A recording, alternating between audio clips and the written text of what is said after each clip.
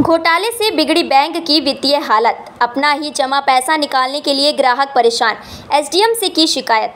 खबर पोहरी से आ रही है। शिवपुरी जिला केंद्रीय सहकारी बैंक में हुए बड़े घोटाले का खामियाजा अब बैंक के ग्राहकों को भुगतना पड़ रहा है।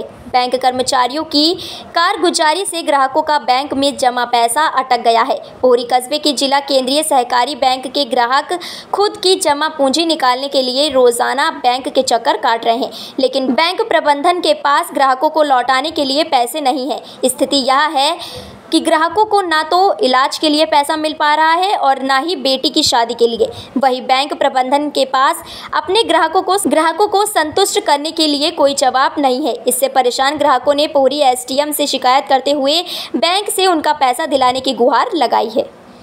पोहरी से धर्मेंद्र शर्मा की खास रिपोर्ट। यहाँ एसडीएम साहब के पास हो? क्या कारण है?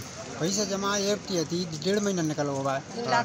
तीन लाख की। तो काय में लग रहे हैं पैसे? शादी है नहीं बच्ची की शादी है। बच्ची की शादी है। तो बैंक वाले क्या बोल रहे हैं? अरे पैसे यही नहीं दे कहाँ से? पैसे नहीं है। तो यहाँ एस डी एम साहब के पास आए हो क्या आश्वासन दिया बता रहे हैं कि वो आवेदन बनवा लो। आवेदन बनवा लो। कार्रवाई करेंगे। सलीम नाम है मेरा। आ, बैंक में गए थे आप यहाँ एस डी एम साहब के पास आए हो? क्या दिक्कत है? साहब पैसे पैसों के लिए मजबूरी के लिए गए थे एस डी एम साहब के पास। क्या काय के पैसे के लिए? हमारा खुद का पैसा है सर।